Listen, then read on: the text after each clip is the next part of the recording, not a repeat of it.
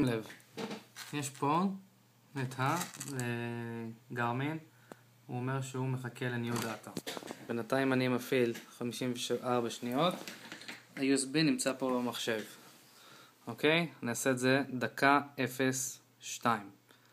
סיימתי, מאפס. אוקיי? שם את השעון פה, לא נוגע בכלום, מצלם שתי ידיים את המחשב. תסתכל.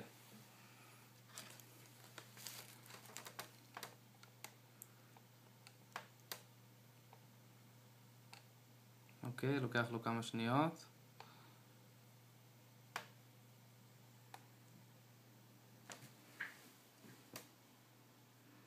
או, הנה. מקבל, establishing connection, אתה רואה? הוא מוריד פה data transferring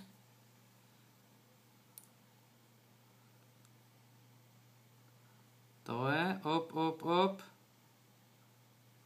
עכשיו הוא מעביר את זה לשרת. Data Transferring. זהו, הסתיים. אתה רואה? לא נגעתי בכלום וזה העביר.